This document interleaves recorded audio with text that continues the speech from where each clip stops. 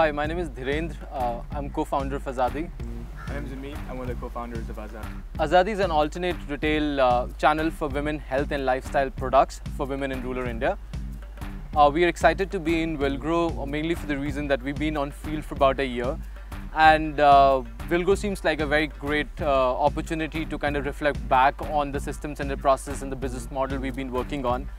Um, and also to kind of learn from the mentors, the great mentors who are here uh, for the workshop. So we're here to basically relook uh, into our plans and go back to the drawing board.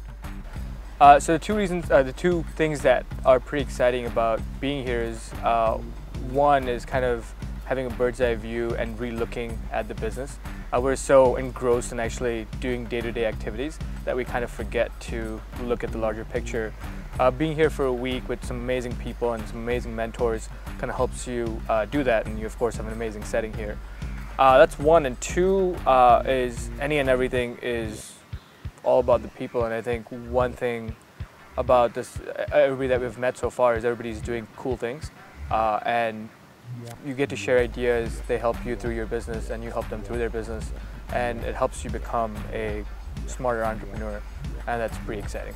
Uh, one of the key learnings uh, slash insights of the last two days has been uh, sort of actually applying the lean startup methodology specifically uh, the business canvas to our business. Uh, we've seen it before, but you know we've done it to actually you know just present it rather, rather than actually using it as a tool uh, to help us design our strategy for our business.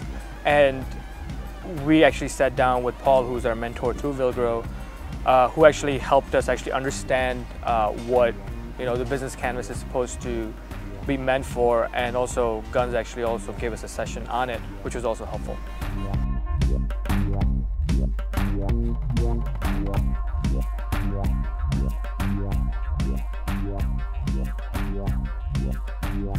Yeah.